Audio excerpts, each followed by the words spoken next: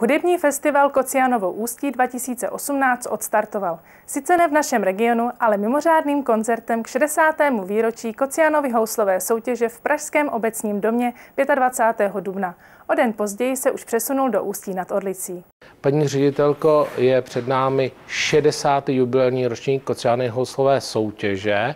Jak byste si přála, aby dopadl? Aby dopadl dobře, stejně jako všechny předchozí ročníky, aby si to soutěžící i návštěvníci soutěže užili, protože to chystáme jako oslavu, narozeninovou oslavu a aby se všem eh, hostům v Ústí líbilo. Už víte, eh, kolik mladých eh, houslistů bude soutěžit? Přijali jsme 62 přihlášek, v zápětí přišla jedna z odhlášek z Mongolska. Pak jsme museli dva soutěžící vyloučit pro nesplnění kritérií. A takže se těšíme na 59 soutěžících. Uvidíme, co se přihodí do té doby. Eh, zda budou všichni zdraví, pevně věřím, že ano. Takže doufejme, že eh, k těm 59 eh, soutěžícím se dostaneme a že se s nimi setkáme. Potvrdí se i tento rok, že budou hostlisté z celého světa? Ano, eh, přijali jsme přihlášky eh, od, ze Spojených států amerických, eh, většina zemí Evropy až po Ázii, konče Čínou a Mongolskem. Moje právě první otázka byla, jak si přejete, aby dopadl, protože poslední době, když vy jste ředitelkou, tak to není pouze jenom o soutěži, ale je to i o dalších aktivitách, okolo té soutěže, jestli k ní můžete něco říci. Pavel Šporcel přišel s myšlenkou vytvořit tady v Ústí v květnu hudební happening.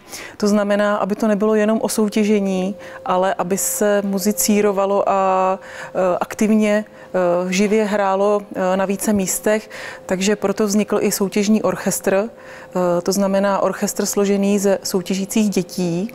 Další z těch zajímavostí je letošní novinka a sice dětská porota, která vznikla pro eh, tento ročník. Uvidíme, jak se to osvědčí a je to se záměrem, aby si ústecké děti ze základních škol a z gymnázia zažili, prožili a užili Kociánovou houslovou soutěž na vlastní kůži. Vy jste zmínila Pavla Šporcla, on je patronem soutěže. Jaký je to patron?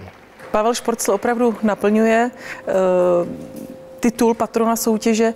Ve, dnes, ve dnech soutěže se tady pohybuje po celý den, eh, je vidět eh, mezi soutěžícími, sleduje bedlivě soutěž, nikdy nikoho neodmítl. Když za ním někdo přišel s žádostí o radu, o podpis, o selfiečko eh, nebo o jakoukoliv prostě informaci, takže vytváří tady takovou tu atmosféru prostě pozorovatele, ale zároveň rádce a také samozřejmě propagátora soutěže. 60. ročník Kociánovy hoslové soutěže soutěže od do kdy bude? Soutěž se koná od 8. května do 12. května 2018. Ať vám víte ta soutěž a děkuji za rozhovor. Také děkuji.